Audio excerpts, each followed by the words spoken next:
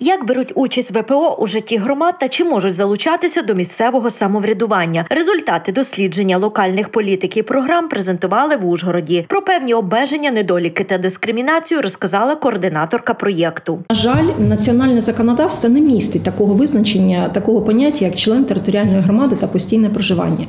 І е, тому, що статути територіальних громад е, е, формувалися саме в територіальних громадах, то можливо десь ну, не можна трактувати, що внутрішні приміщені особи є членами територіальної громади. Але до повноважень органів місцевого самоврядування не належить можливість саме трактувати такі базові терміни. 124 із 193 місцевих нормативно-правових документів потребують змін. Це 65%, каже Анжела Бабкіна. Статути більшості громад не передбачають участь ВПО у місцевому самоврядуванні. Проте чимало громад прийняли програми підтримки ВПО. Експерти після зроблених висновків надали рекомендації. Головне забезпечити публічність та доступ до офіційної інформації і нормативної бази бази не тільки для ВПО, а й усіх громадян у всіх громадах. Існують певні такі обмеження, що внутрішньо переміщені особи не брати участь у загальних зборах, громадських слуханнях, подавати місцеві ініціативи, тому що вони не є е, по статуту членами громади, створювати органи самоорганізації населення, голосувати за проекти е, громадського бюджету і користуватися там певними іншими деякими інструментами локальної демократії. Ну і тому ми говоримо про певну дискримінацію стосовно участі у житті приймаючої громади.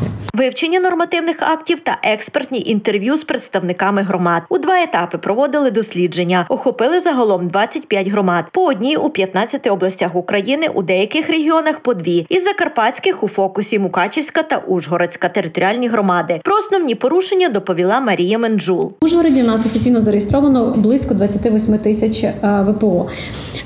Представники влади, яких опитували Мукачеві, не могли точно сказати, яку кількість ВПО офіційно зареєстровано, але сказали, що в колективних центрах проживає близько 7 тисяч е, ВПО. Стосовно програм, які були проаналізовані. Якщо це Ужгородська громада, то проаналізовано 12 місцевих актів. По Мукачево 6 місцевих актів.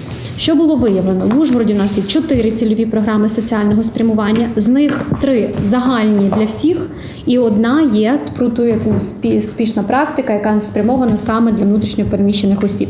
В Мукачеві спеціальних спрямованих на внутрішньопереміщених осіб цільових програм нема.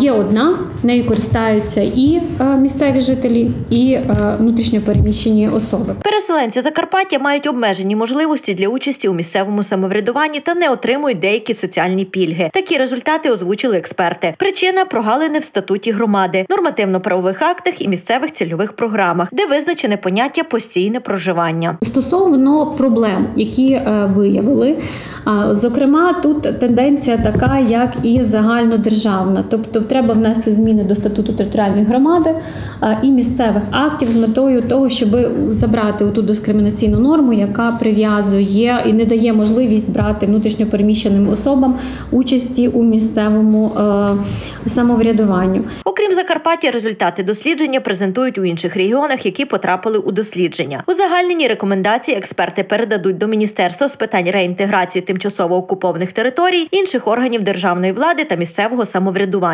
Захід організували в рамках програми Єднання заради дії.